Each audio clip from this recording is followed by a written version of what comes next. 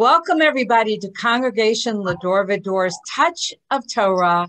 Tonight, we have as our special guest Rabbi Loring J. Frank.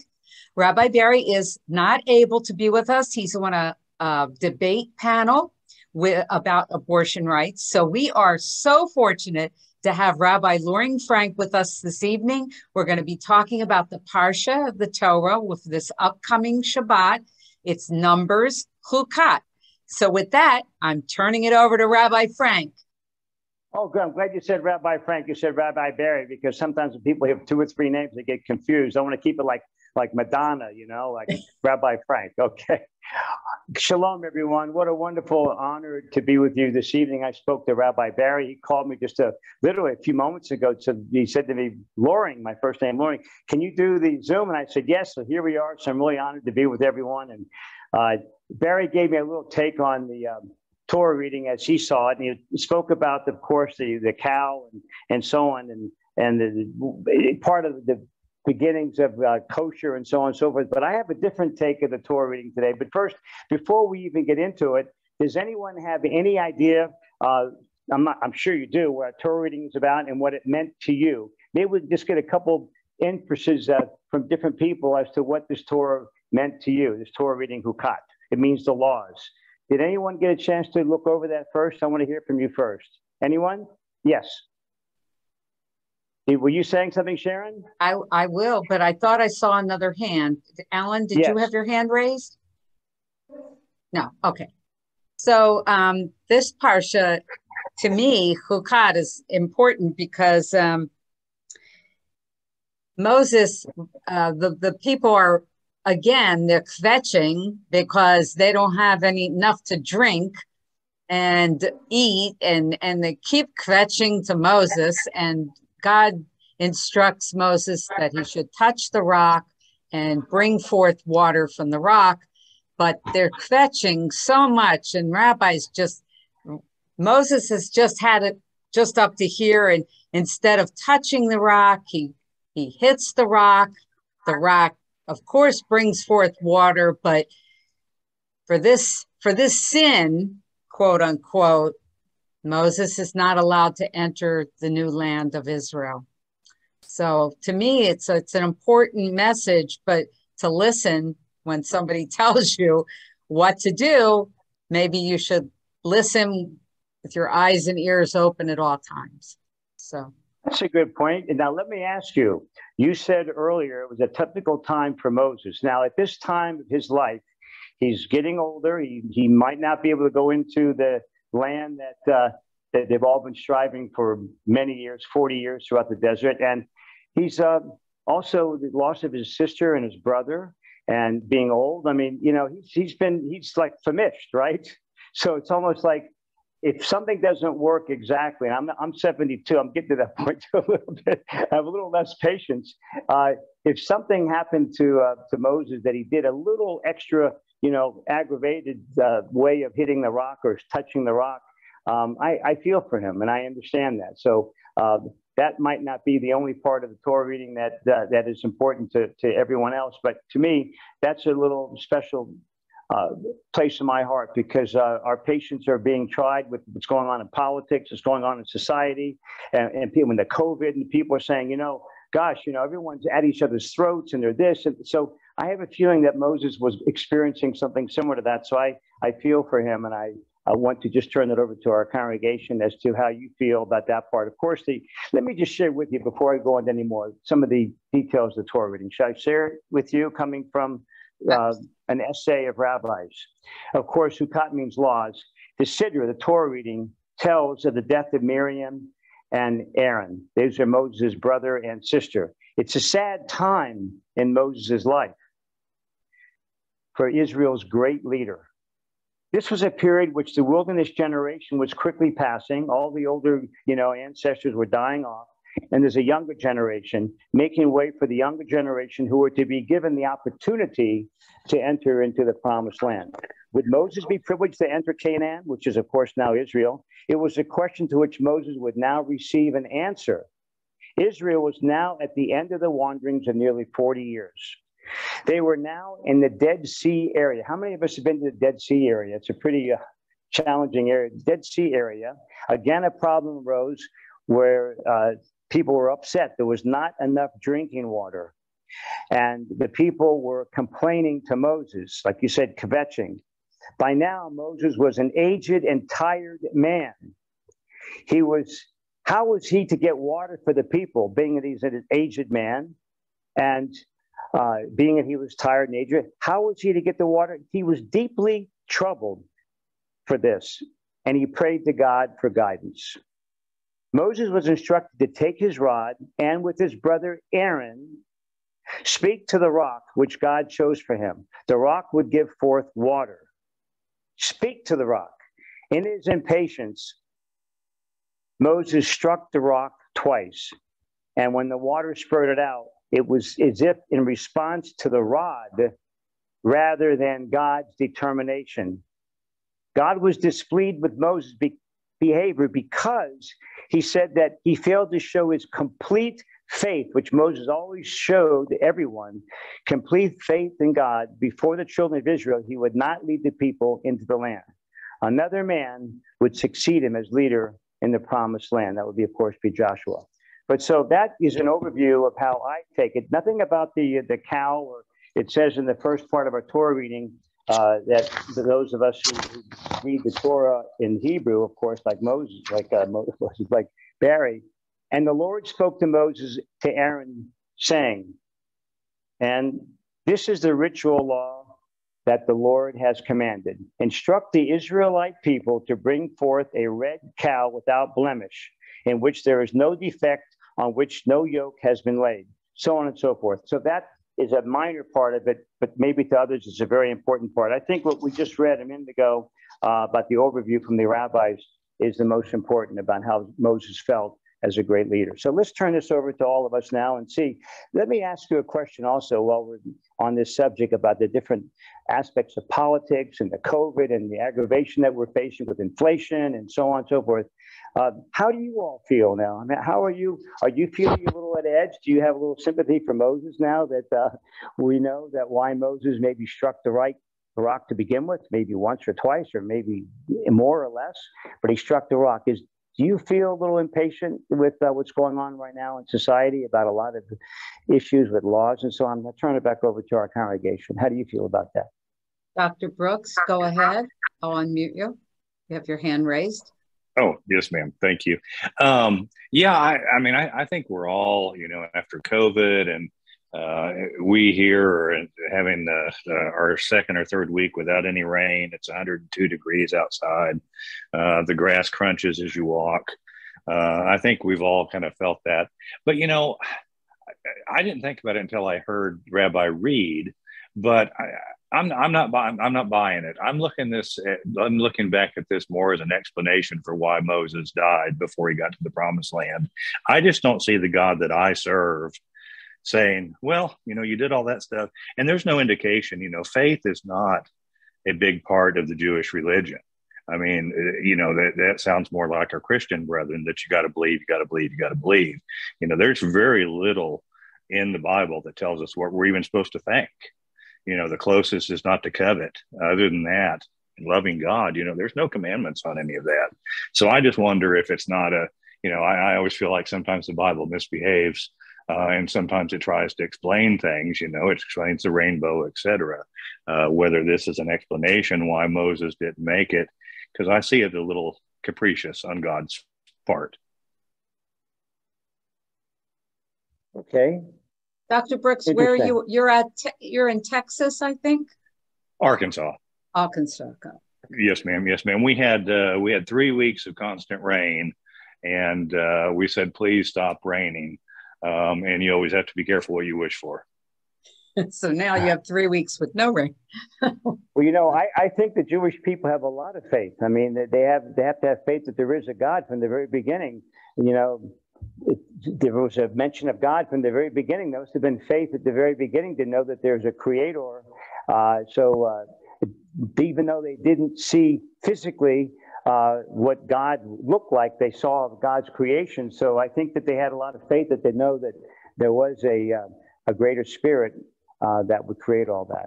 But that just saying, I, I don't know of any Jewish person ever being told they don't have faith, you know. So I don't know. I, I think it's no, no, very no, and I don't think that's not how I meant it. I, I agree with you. Oh, I'm just okay. saying that I don't think faith is some is a big part of what God requires of us, and I don't see it. Um, I mean, because otherwise, it's the same thing as a Christian idea. If you don't believe, you go to hell. You know, if you don't believe, you, you don't go to the promised land. I, I just think that's uh, it's a little outside of my belief wheel. I understand. Okay. Does anyone else have any comments about the uh, Torah reading? And maybe we can speak about other aspects that's going on in society now too, to, to kind of tie into how Moses might have felt.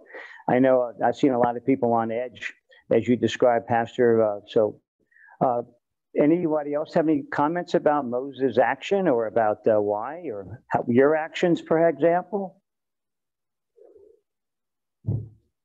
Anything in particular? How many, by the way, I didn't know if I saw, it. let me see if I can turn this. Emmett, I want to see if there's other people on. How many people are on, Sharon? We have seven total, including Oh, yourself. okay, then I probably see it. I just didn't see the pastor speaking. I didn't see, uh, are you sitting down, Pastor? Oh, maybe not. Okay. So anybody else have any thoughts? Let's, I'd love to hear you. Yes, please. Edward or Gloria or Harris, want to share anything about it? No? Okay. Harris, you you know, want to say something? Go ahead. Yeah, please. I got you unmuted. Oh, a very negative thought that nobody's going to like. Am I muted? Can you hear me? no, I can Oh, hear yeah, we you. Go can hear ahead. you. We can hear you. Repeat, repeat it again, Harris. I have a very negative thought that I don't know if I should say it or not. Of course, say it. Well, as you know, Moses was Egyptian, right? Well, he was raised in Egypt, but he, he was from a Israelite, if you will, or Canaanite. Uh, Well, from what I understand, Moses was Egyptian, and in Egyptian history, they have no mention of Moses at all. Oh, okay. But I don't a think, I don't think you would say Moses was in it, you know, Moses was maybe, like I'm an American, but my ancestry from, you know, European or whatever, who knows, maybe Israeli descent from centuries below that, you know, so. Okay, interesting that you say that. Okay.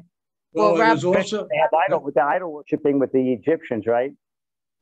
Well, it also had another note, not to be sarcastic, but Jesus Christ never existed either in the same uh, paragraph. Okay.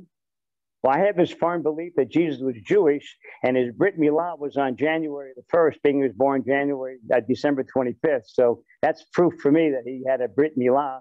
And back in those days, uh, the only people having Brit Milah circumcision were the um, Israelites. Yeah. And he was a rabbi too. So, um, uh, and plus, the, what, the, what happened to him sounds like to a lot of rabbis, thank God, not as severe. So, So uh, Rabbi, this- Rabbi Frank's father was also a rabbi, along with Rabbi Barry's father, Rabbi Sam. And he was also a, a beautiful artist of the stained glass that's behind Rabbi Frank. Thank you. So you want to you. tell a little bit about that stained glass, maybe? You know, because I know we're looking at it and it's so beautiful. Okay, sure. My my dad being an, an artist, he, he he didn't. I don't know if he actually soldered every piece together. So he hired a glass maker, perhaps, or a stained glass maker. But he did create the design, and he created the the uh, actual you know structure of how it would be laid out and so on. But um, you know, he's he's got countless other pictures all around our house here that he's painted more with religious undertones. And sometimes he would actually bring the picture out to the pulpit and uh, explain his sermon through the actual artwork. Uh, so, it, but the main thing with my dad and with Barry's dad, Sam, they were very uh, outspoken, particularly at a time such as this. I know they would be very upset what's going on right now. But, you know, in, in terms of the legal aspects, I know Barry is out protesting and speaking on the radio and has really important, you know, messages to give to, to um, society, humanity. But, you know, let me ask you this. I just want, I want to bring this up about it's, it's not necessarily about the abortion issue, but at one point, Barry and I were talking, this is maybe months ago before this even happened, about when life begins. So, you know, there's a, uh, is an expression, you know, when does life begin? You know, the rabbi and the priest are arguing, when's life begin? And the, the priest says at the moment of conception, and the minister says, no, the, uh, life begins, uh, you know, when, when the baby is born. so um, they're arguing back and forth, back and forth. Let's ask the rabbi. Rabbi, tell us, when does life really begin? He says, you know, life really begins when the youngest in the house gets married and the dog dies. That's when life really begins. So it was a way to get out of that conversation. But in either case, as Jewish people generally, people from the Torah and people from our, our Talmud and commentaries, we believed, as we do now, even in, in, it makes reality sense, but it's not necessarily I'm speaking politically at all. But uh, they believed, and we can see that the last thing that one does in their life is take their last breath. That's when that last breath of air leaves the body, and that's when they formally are pronounced dead, or they could say brain dead or whatever. But the point is that the last breath of air. On the other hand, our ancestors believe, you know, they didn't have x-rays and, and, you know, all the different types of ways to see inside the body. So they would say, you know, God willing, when the baby is born and takes his first breath of air, that's when it would really be an entity, a human being, because sometimes there were stillborns or there were uh, problems with the child that they maybe they that the child couldn't live any more than uh, whatever. The point is though that I think that's becoming a point of of conversation that life begins when the baby is born, and that on one hand it really turns off many people, whether you're pro life or, or pro choice, to know that on one hand the baby could be terminated before it comes out of the womb. And I, I don't know, that's not going to sit well with me per se, not because I'm pro life or, or, or pro this or whatever. It just, it's just very strange to know that that can happen. So I think there should be some type of a time frame as to when there could be, if any time frame in your belief, uh, when the baby could be, or the child or the fetus could be terminated. What's your feeling about this? Because I know Barry is on the radio and talking about that really uh, it's up to the woman to decide up until the day of the birth of the well not necessarily he's saying that specifically but that's what it implies the day of birth of the child how do you all feel about that i just want to get opinions yes go ahead. It's up to the woman. It's her body. Well, it's her decision. but like does that happen to the last day of the uh, delivery? Whatever it is, it's up to the woman. I know, but let's just say legally speaking, not the barrier or whatever, we're talking this aspect of it, but what would happen if a baby is, is born and then they decide not to keep the baby? And who's going to determine whether it was, God forbid, put to death after it was came out of the womb, or God forbid was born, you know, stillborn, or terminated, you know, a day beforehand? And it could be like a murder charge or something. I guess the Supreme Court. I don't know if the Supreme Court could Which, put a day on it, though. Could they put a day? It's a you know certain uh, two days before birth, or should it be 15 weeks? Should it be?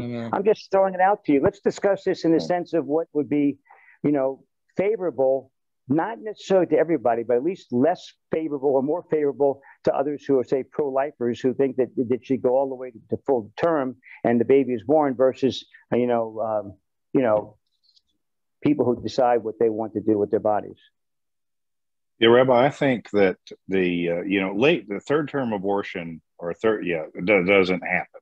I mean, it's almost never happens. And what Roe versus Wade did was say that the states could not outlaw abortion before the fetus was viable. It didn't say it, uh, abortion is legal forever. Um, so it's very, very rare that there's an abortion and you know you already know they've got a severe disease you already know that the mother is suffering and they're not going to be able to to take the child to term so you know um, basically I, I, don't remember what what year what year what month that ended in or what time but you know generally a fetus isn't uh, viable before about 25 27 weeks um, and I think what happened was, unfortunately, uh, when states started to see this coming and started outlawing abortion, many of the more liberal states went the other direction and say, okay, well, you can have an abortion up until the day the baby's born. That's not really what's supposed to happen. But when we have draconian, no, you can't ever have an abortion, then they're making the rules that yes, you can have an abortion up until the time of birth. Uh, I, I don't think that that's going to happen. Um, it never has been the rule. It's been very, very rare. I want to say maybe uh, half a percentage point, you know, in the in the third trimester. So it, it's very, very rare. Um, and Roe versus Wade really didn't have anything to do with that anyway. Uh, what yeah. it did was mm-hmm. make it where they couldn't make it where you could you couldn't have an abortion at 15 weeks, um, right. which the, the fetus right. isn't viable anyway at that point in time. Right. So you know it doesn't make any difference. Well, you know, generally speaking, I'm not obviously involved in legal aspects of it. I know each state has their own ways of changing or adding in states' rights, so to speak. But generally speaking, you know, uh, I, I, think that there really should be some type of a, of a, a, a limit. And I don't think Roe versus Wade ever came up with it. Did it come up? Was it a limit or anything like that that said it could be one way or the other, longer or shorter? Yeah, I don't remember if there was an actual number or not, but it, the, yeah, the, the gist of so. it was that the states could not outlaw it before the child was viable. Right. And that right. would be right. generally 25 weeks or so. So, in other words, at 15 weeks, right now, you, if you have an abortion at 15 weeks, the child is not viable. If you if the child was born, it would not it would not survive. Um, and let me ask you my know. congregation: Don't you think that basically this isn't really about Roe versus Wade per se and about abortion? Is it more like states' rights versus federal? The federal government, you know, should not control what we do. Let each state decide what they want to do accordingly. Personally, I don't abortion. think that I don't I think government shouldn't have anything to do with a woman. I mean, it's a woman's right and her family to make that decision. And I don't think government has any jurisdiction. No, I, I totally understand that. But what happens if something did happen to say a baby was born? Some people are getting charged for murder and manslaughter or whatever it is when the baby when when something like that happens. So what I mean, it's a legal thing too. It's not just about it's a woman's choice because there's certain laws that would say, hey, you know what? Uh, you, you just killed the baby. You let the baby die. It was born or whatever. You, you didn't take care of it. I'm just saying, this is, these things come up, particularly for people who, um, uh, the, the pro life people, there's really nothing wrong, in my opinion, about being pro life. We're all pro life. What it is is when, when they want to put their uh, beliefs on you or me or whatever, how we should live our life. So the concept is not a bad concept, pro life. Right. Well, the Torah, you know, talks about the the two people that have a fight, and the woman gets hit, and the woman miscarries, and what happens. So, you know, it's pretty. I think the lawsuit, of course, is that they are presenting their rights um, on to us because they're saying that they, that's this is what I asked the rabbi last week um, that life begins at conception. Um, right. And that is a Christian belief. That is not a Jewish belief. That is not a Muslim belief. Um, and where did so, the Christian belief come from? It came from the Torah. No, no. Um, I mean, it doesn't. I, I you could. I, I don't know if you can show us a spot where it does, but you know, um, he, uh, Adam becomes a living being when he takes his first breath. Right. Um, and it's very interesting that uh, uh, neonates have to breathe through their nose, and guess where God put the air in when he when he created Adam? He put it into his nostrils, not through his mouth. It's a very interesting medical tidbit. Um, right. But there is there is nothing in the you know what they're saying is yes, they're getting it from "Thou shalt not murder," but they're saying it's murder because they believe that life begins at conception, and there is no Torah concept equal to that. Otherwise, the rabbi well, would not be suing them because there would be no lawsuit. Oh, I know. I, well, I'm saying that they're saying, and the Jewish people believe that the baby became an entity at the first breath of air rather than at conception. Because after it could have been stillborn, or it could be that maybe two, three breaths later it passed away. I don't know. I'm just saying that that's generally, and also uh, in the Torah where it says God creates um, Adam, man of the earth, by taking clay and breathing the very breath of life into this clay. And that uh, neshama, that soul that was breathed into that clay, became an entity rather than a golem, that is just a piece of clay. So, and also in the same, while the breath of life is within me, I will worship thee, sovereign of the world and Lord of all souls. Not in reliance upon our own merit, we lay our supplications before you, but trusting on infinite mercy alone. For what are we? What is our life? What our value? What can we say in God's presence? I'm just quoting something in the back of my mind. So, our from the very beginning, as uh, I was growing up, I always felt that the breath of life was the soul, the neshama, and when the breath of life left the body, it would then you would die. But by the same token, when the breath of life was breathed into the golem or breathed into the baby, or the baby took the first breath, that's when life began.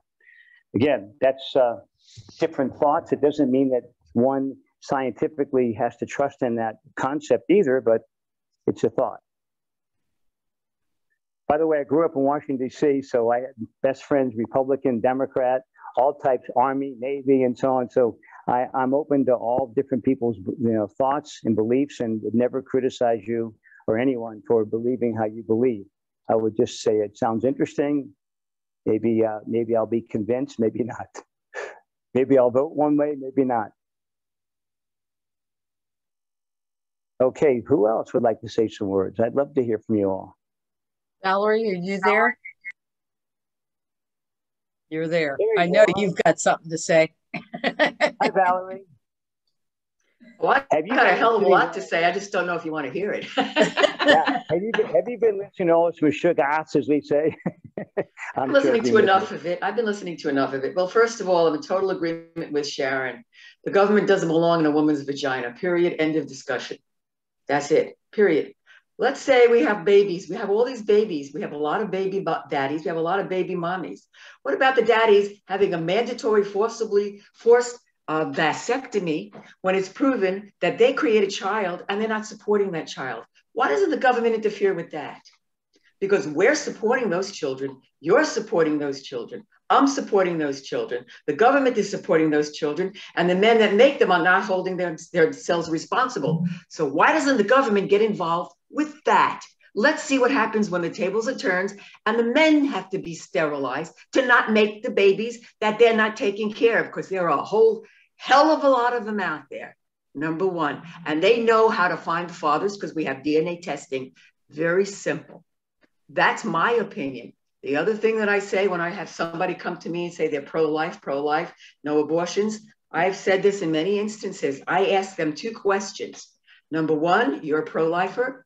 How many foster children do you have? Or how many children have you adopted? Because there are plenty out there. If you want them to be born and you're protecting them in utero, why the hell aren't you protecting them when they're here? So those are my two issues. That's all I have to say. Very well spoken. Beautiful. You've got my vote. Let's see when the shoe was on the other foot and the men have to get their stuff cut stop making right. all these babies. Then we wouldn't have a mm. problem with abortion because the babies that are born then are going to have parents to take care of them. Love them and want Why them. is the woman the one that's responsible? Vasectomies are reversible too, aren't they? Not in my world.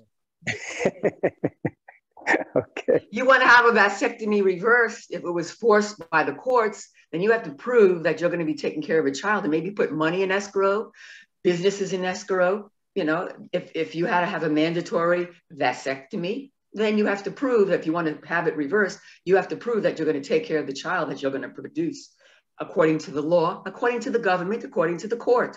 If you're going to get involved with my reproduction, you know, aspect, then you have to get involved with the man's reproductive aspect and make that a law and put it up to the states. And let's see how fast these men vote for that person. I don't think so. okay. okay. I mean, to put Thank Rabbi Barry's slant on it, um, yeah, they, they have all these people that are pro life and, and not meaning what you said, Rabbi Frank, but being pro life for a baby at conception rather than, you know, a baby at birth or the first breath. And, and they're gung ho about this, yet they're not gung ho about taking AR 15s away from the world, you know, except for in the case of war. You know, they let 15 and 16 and 18 year olds, 20 year olds, you know, go into a store and buy as many guns as they want. Um, sure, had, some say, you know, that the most most of the people who are quote unquote pro lifers are in favor of the death penalty. Oh, I definitely am because you have too many wackos who are really criminals, have committed mass murder, and they're being let out. I mean, how come when, when a person kills one person, two people, 10 people, they're put on trial as mass murderers. And then you have somebody like Putin that kills thousands and thousands and thousands of people. How come he's not putting being put on trial as a mass murderer? What's the, you know, I, I don't understand that concept either. It's okay to kill millions but it's not okay to kill one and you can have a lawyer defending you. That's, I mean, this, to me, we're living in bizarro world. That's what I'm saying. Now, Tom Moses got so upset. We're in that same mode right now. Little things start to bother me a little more so than ever before.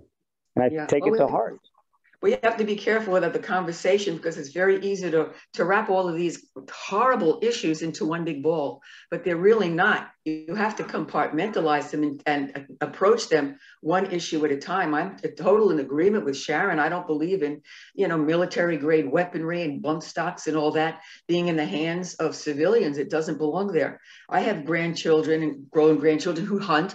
None of them use automatic weaponry when they hunt. I mean, there's just no reason for it. So I know I understand. Oh, there you go. You're a hunter. Oh my goodness. I'm not a hunter. My grandkids are hunter. I don't approve saying. of it, but, but what I'm, I'm what, what, I'm trying to say is that you can put everything in one pot, but it, it can't be in one sure. pot. You have to handle sure. one issue at a time, you know, because they're so they're so different. In this particular mm-hmm. case, when it comes to the abortion issue, I mean, that's really, and as far as I'm concerned, that's interfering with religious rights.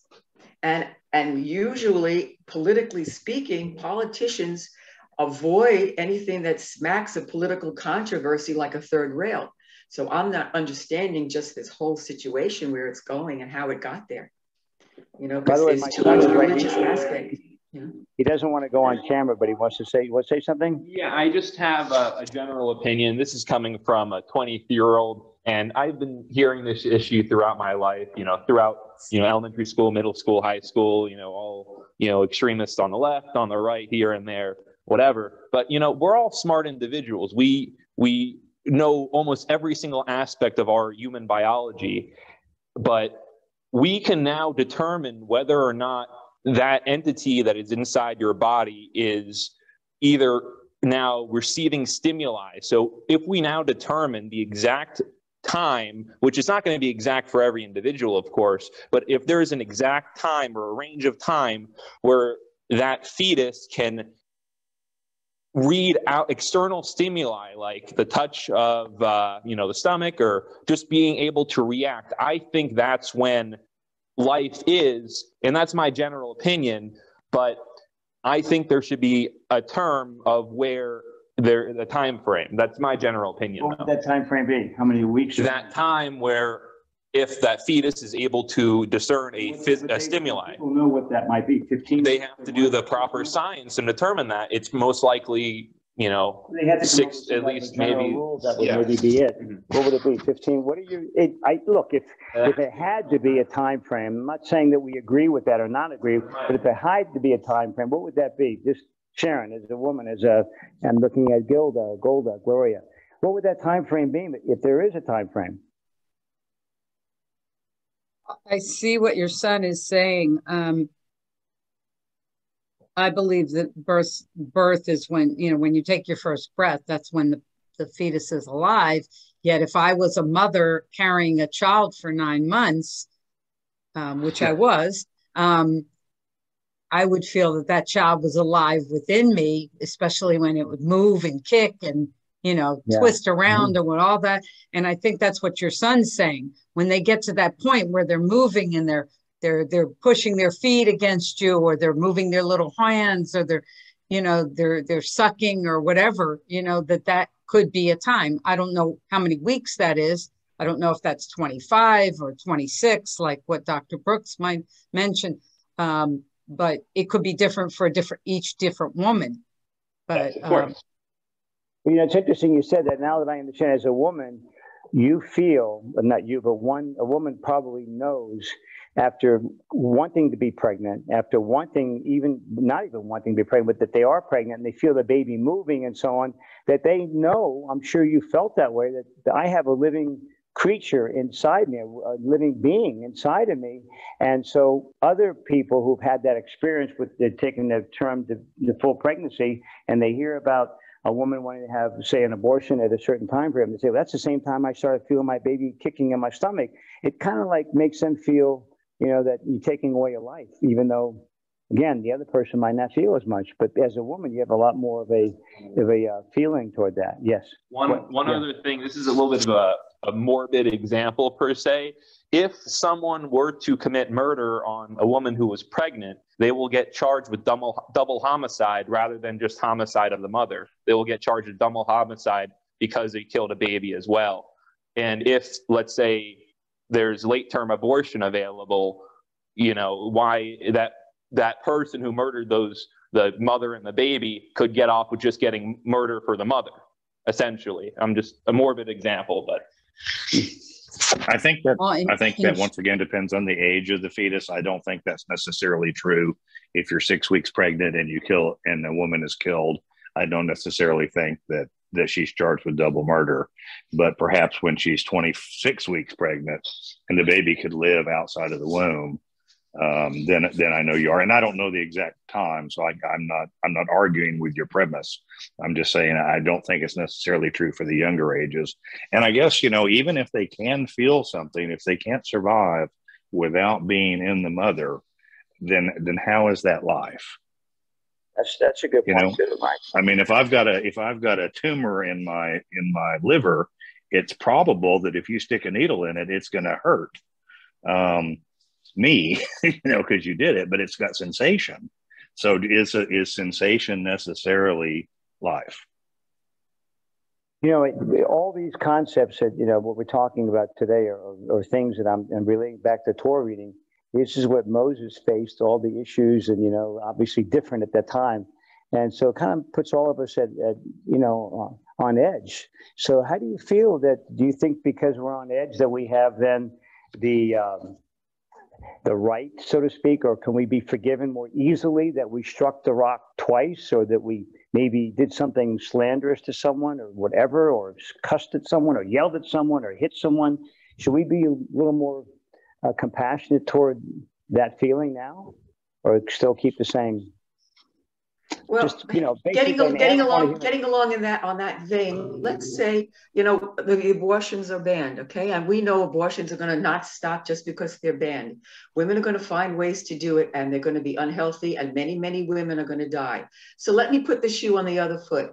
Can the family of a woman who has to have an abortion for whatever the reason has to have it, and she is she dies as a result of that botched abortion, whether it's an infection or it's a botched abortion, does the family now have a right to sue the state for killing that woman, for not allowing her to, to, to have a medically approved safe procedure? Can the family or friend or relative of that woman sue the state for murder? Because as far as I'm concerned, that's what the states are condoning.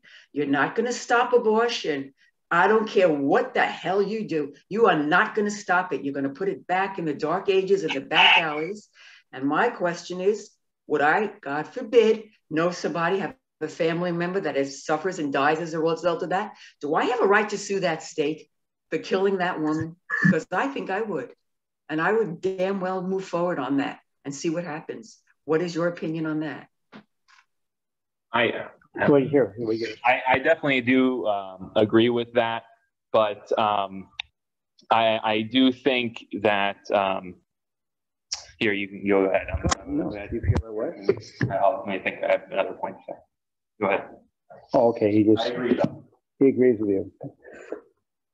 Any other thoughts? So, I mean, going back to our Torah reading, how do you feel? Are we are we on the edge? Is this helping us to cope more by uh, having these issues come up that takes us away from the thinking of like inflation or the high gas prices or, or, or vice versa. What do you think? I mean, what's happening to all of us, you know, in reality in our lives?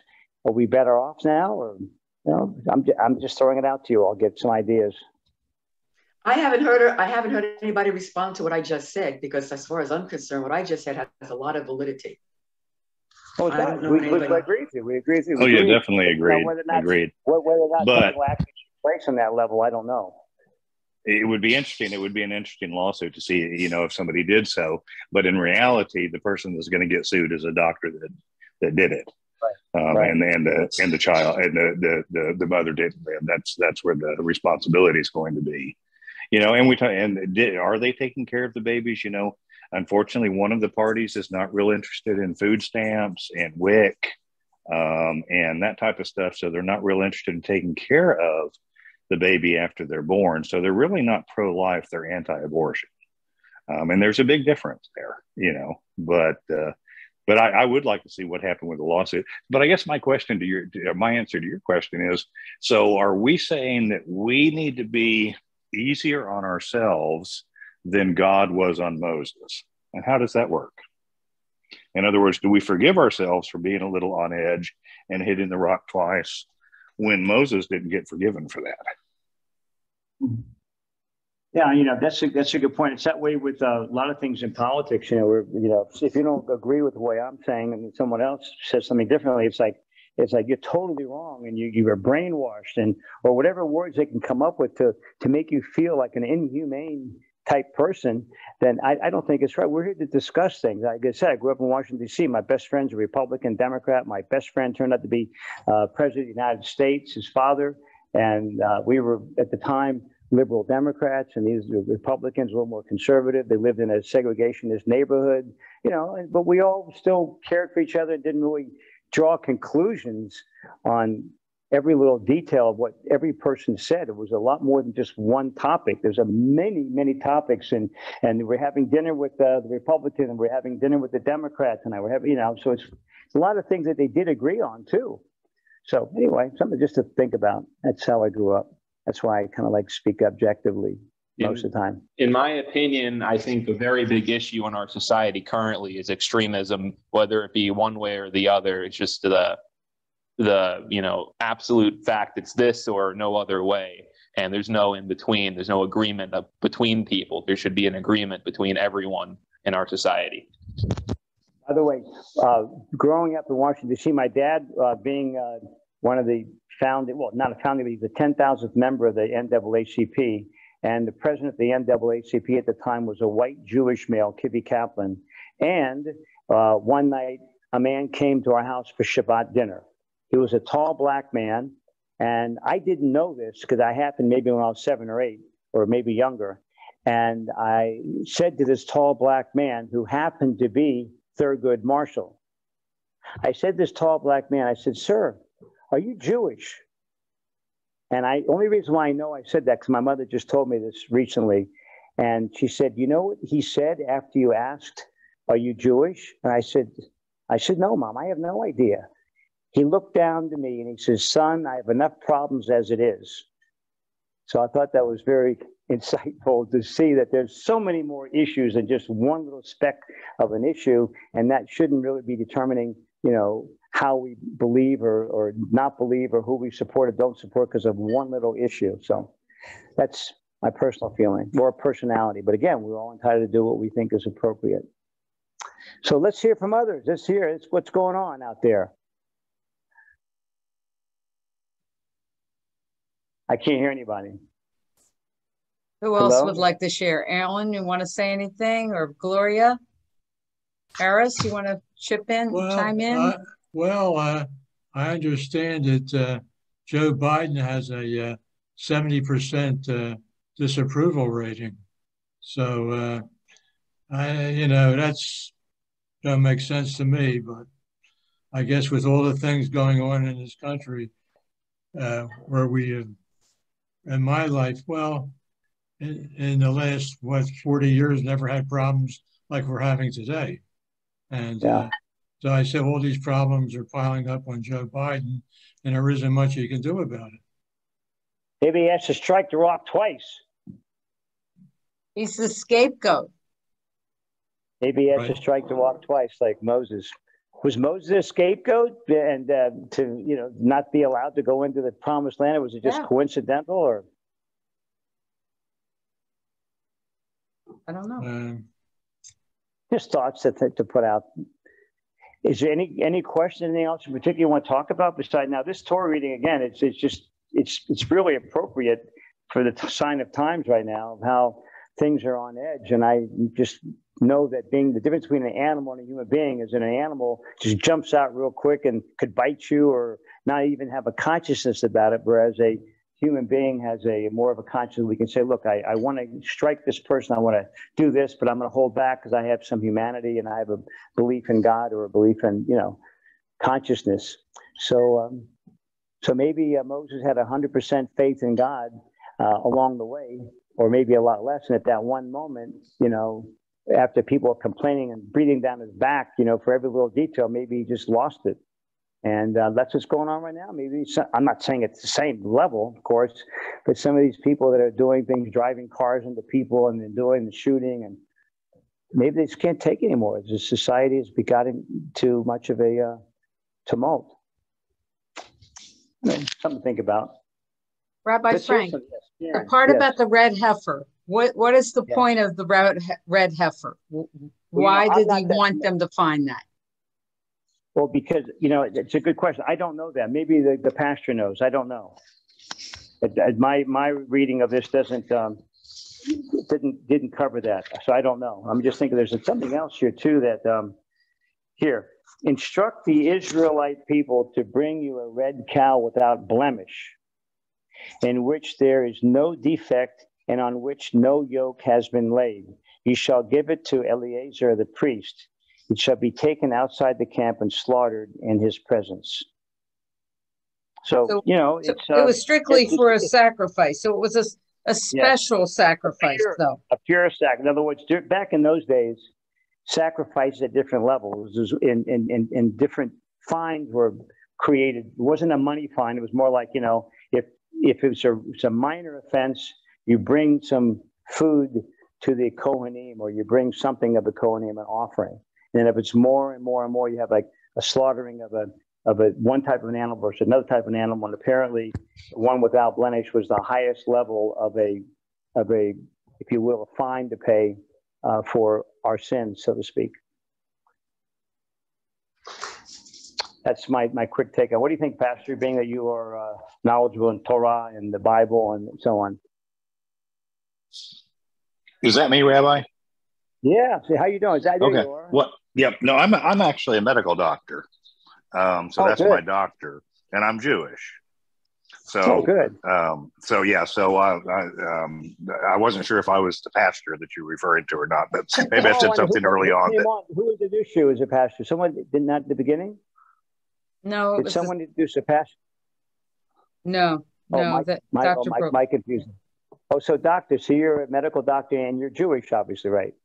Yes, sir. Yes, sir. I don't know if you saw my joke, but I'd always heard that a, a, a child is uh, considered viable when they graduate from medical school. That, oh, that's in the chat. Too, yeah. So yeah. That, so that's yeah. A, that's a good so. one too. Um, hey, so, hey. Schwartz, no. your, your husband, Mr. Schwartz, your son's being sworn in as president of the United States, the first Jewish president. Oh, forget about him. My other son is a doctor. That's right. He's a doctor. exactly. Exactly. no doubt. But uh, I find it interesting in that in that particular ceremony that one, I think that what is the what is the name for something that uh, law that doesn't make any sense? Hukat or hukot or hookah or something. Well, anyway, the there's a word tonight. for it. That's, oh, that's the Torah know, reading for, for tonight. Hukat. Right.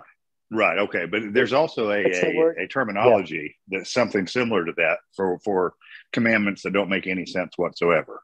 Sugar. Um, and I think, what's it called? Michigan. Oh, that too. Yes, ma'am. Um, I know. Barry, but anyway, I know Barry would have that answer. Rabbi Barry would definitely have that answer. Yeah. but it is interesting that the person that when he when he puts the the water on the person, that person becomes clean, and the priest actually becomes unclean.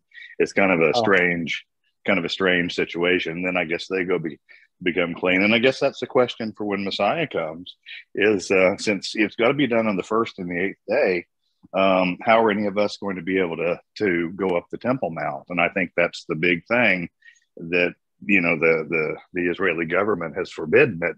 Uh, well, in addition to not starting World War Three, but uh, um, that we can't prove ourselves clean. I mean, I come in contact with dead bodies or a cemetery or whatever, at least on a weekly basis. Uh, thankfully, I'm not a, a priest, but still, I would not be allowed into the third temple uh, because I'm not a clean and I can't do this ritual that we're talking about this week. Um, so that's going to be one of the decisions the Messiah is going to have to make is, well, how do I rectify all of that? And we'll see. Doctor, you, I didn't realize it was you because the light's on you, but you have a picture of not rather than a video of you. That's why. Right, exactly. Yes, sir. I'm sorry. Oh, no wonder. Now I understand. okay, your lips are muted. Uh, so you know, I am a Kohen, Uh, and as you know, the strict Kohanim are, you know, aren't allowed to marry a woman who's uh, divorced or, you know, you can only marry someone who's a widow or someone never married before and not allowed to walk into the grounds of the cemetery uh, and so on, be around, um, you know, unclean things. So I'm a Kohen, but I do countless funerals every year. And, but I, I don't really feel that I'm disrespecting, you know, the reform type uh, attitude of Kohanim, uh, or even some of the conservative, but I know for sure I am disrespecting the Orthodox point of view of Kohanim. So, but again, I'm not, there are many different aspects of Judaism. That's why you say Jewish, you know, five ish, you know. So, uh, right. I believe, I believe Very good point. Still, and I would say I agree with you 100%. Yes, sir. Okay, well, you know, I mean, just I've been around people who who do that profession too. I mean, let's just say, for example, you're say you're around a uh, God forbid a, a mortician has just just been with the body and so on, and then you know you're closer to that than than the actual body in a sense. Who knows? Just different thoughts. So um, I just make sure that I keep myself uh, clean and uh, pure with thoughts and I can give a Kohanim prayer to everyone before you leave. I'm not sure what time it is, but I can say, here's the Kohanim prayer. Absolutely. I was going to ask you for that. sure. We'll still go on after this. May God bless you and keep watch over you. May God's presence shine upon you and be gracious to you. Yisaranai panavilecha v'yasemecha shalom. Amen. And may God watch over this blessed, beautiful congregation of L'Dor Va-Dor for all those zooming in and grant everyone around the world shalom, peace in Israel, peace in the Middle East, peace in the Ukraine, peace in our homes, peace in our hearts. And may we go forth in our lives with shalom, with peace. And let us say, Amen. Amen. And so it shall be. Amen. Amen. It's just that was words, beautiful, right? Rabbi. That was words. beautiful. But you know, when you think about it, that comes straight from the Torah. They didn't ask for money, prosperity. They didn't ask for health. They didn't even ask for happiness. They didn't ask for anything other than one thing, shalom. Because when you have shalom, then everything is a Seder. Everything's in perfect order. You could be deathly ill which, is, which is what heart. shalom, one of its meanings is perfect order, right? Perfect order. And Kohanim says shalom. That's a shin and then there's two shins, and then my head and arms is a three shin. If you can see in the camera enough, there you go. Yeah. yeah. Okay. And that's on every mezuzah, the shin. Yeah. So let's hear some from you all, my dear friends. Let's hear some more. Any questions about something else that has nothing to do with Hukat? Because everything has to do with Hukat. We're all going through crazy times now. Well, I think this there's something very interesting if you go back historically. His, now, this is just in general the, the New Testament was actually put together by Constantine and the Holy Roman Empire to try to consolidate power. They took the whole mission, the Megillah, if you will. And you know, in that ancient time, women were very, very powerful. They were the soothsayers, they were the, the midwives. They were very, women had a very powerful part in society. And when Constantine and the, his tribunal put together the, the books to create the quote unquote New Testament, it eliminated a lot of and took usurped a lot of the power from women in the society at that time because he wanted to consolidate power. Now, here we are in the 21st century. And once again, we have women now being judges, being doctors, being politicians, making policy. And now suddenly we have this whole control situation by the states and men to control women's bodies. Do you find an ironic correlation there? Because if you think about it, I'm kind of reflecting on that every day. And I'm saying, wow, are you, if you're a student of history, we're having another mm-hmm. Constantine Day. And when, you know, when the Dead Sea Scrolls were found and the entire story started to be put together, you saw how much Constantine and his tribunal eliminated from the actual true story of the, the Bible. Let me ask you, let me ask you, do you, I just, just asking, just throwing this out, I'm not espousing any belief from me, but do you think that really that some politicians want to control a woman's body or just? No, I don't think that. How can you think that with what's going on? You have to be yeah. absolutely ob- uh, oblivious if you no, don't no, but, think but, that. conversely, they, they not, I don't want to control your bodies, but why not you use your own mind, women or whoever, men or whatever, and, and, and control your bodies rather than having a state come in or someone come in to do something when supposedly, I'm just speaking out loud, that one doesn't have the insight as to what they may be doing to a human being. I'm uh, listen, I'm not arguing that point with you at all because I'm in, I'm in full agreement with you. You have to be responsible for your own actions. Unfortunately, that's not the case. And when you have an irresponsible person, it doesn't just affect that person, it affects society, it affects their family, it affects you, it affects me, because we are paying the price for that stupidity, if you will, or that lack of control, or that lack of education, you know. And that is an issue. And I'm not negating that but by any stretch of the imagination. Okay.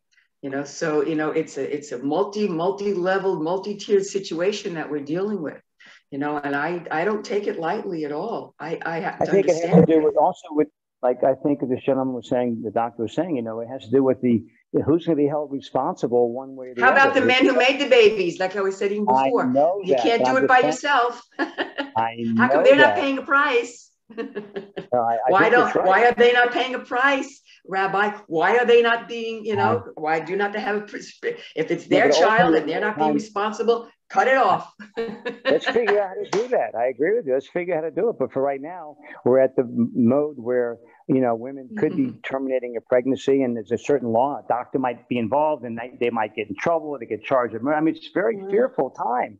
You don't know what to do. Go, we can go around in circles in this for, for, for forever. Yeah. You know, we, we really can. And it's a very, very serious issue. But I think the point of the matter is, is that the, uh, the woman and the doctor should be responsible for that situation. Yeah, but what happens if they the, if the, the come down or studies come down saying it's a doctor who made who made the decision who based upon the woman's decision, and you know, doctor, you you could be in a lot of God forbid a lot of trouble for doing something because who knows? Even if you make one mistake on a proper bear, uh, proper pregnancy, you could be sued. It's called medical insurance, and you know, we. Oh, you, I had somebody put my lawn down. If I don't like what it looks, I'm going to sue them for that. I mean, come on. Anybody can sue anybody for any reason, for anything, at any time. You know, that's yeah. just the way this country is, is, is, you know, uh, but I understand from an emotional point of view, from a physical point of view, from a religious point of view, from an educating point of view, from a lack of responsibility point of view. I mean, there's so many, there's so many overlying issues to this situation and it, it is a tough one. It definitely is, but interfering medically with between a woman and her doctor, no matter what the situation is, in my opinion, is out of line for the states to interfere. You already said that already, but what about the doctor who goes along with that woman and he gets in trouble for it? It's not about making a decision, men and the doctor. It's, it's also legal decision. too. The doctor's not carrying that child. So the doctor's not carrying that child. The woman is. So let me ask you, based upon our Torah reading today, Sidra Hukat means the laws, which is very appropriate to speak about. In your opinion, so are we going to be forgiving a Moses to have struck the rock twice? But at least the water came through. He got the job done, so to speak. Are we going to be forgiving of others for striking the rock twice, so to speak? Well, here you go again. We're back to the Bible. Uh, where does life begin? If, if if there's no rock to strike, then there's no problem. If life, if, if there's no life, then there's no problem. If you don't believe, if you believe life begins at birth, then there is no problem. There is no rock. That's my whole point. In general, other things that, that we're going through right now in society, uh, in addition to the this issue. Anyway, well, that's so, what I'm saying. You can't put everything in the same bucket. You have to, yeah. you have to test one situation okay. at a time. You can't put it all in one bucket because they're different issues. They're different philo- philosophical, religious, and political issues. They're all separate issues. Gun control. They're all separate issues, and they have to be addressed separately according to their own merits or lack thereof. That's my opinion. So let me ask you, so on every issue, so if it turns out that that one group or one person thinks it should be one way and you or me might say it should be a different way, does that mean that we are completely right and they're completely wrong? It doesn't mean no, that. you follow I mean, your conscience. You do what you feel is right and you have somebody else do what they feel is right. And Right, if there is no life, and religiously, if life doesn't begin till they take the first breath, then they're not breaking any relig- religious laws. Okay. So therefore, religion has nothing to do with it. Then it's, it's just a state interfering. Oh, do we That's forgive Moses? say. We forgive him and let let it go on. Let's, let's in our minds forgive Moses, forgive you, forgive me, our beliefs one way or the other. We all think we're all trying to do the best we can with what we have to, to pro, uh, pro, to progressively, you know, live in this earth and make it inhabitable for others. You know, like, you know, for example, what, what does bother me a little bit in particular is that we have all these wonderful rules and regulations of what goes on in this country with pollution and with this and that. And you go to some other country and they're just totally obliterating, you know, the environment. And here we are a little, well, not that small of a country, but a little small microcosm. And, and they're taking advantage of our tight rules. And then they're out there producing, you know, all kinds of environmentally, you know, bad things for the, Now we're for the talking world. about pollution. Okay.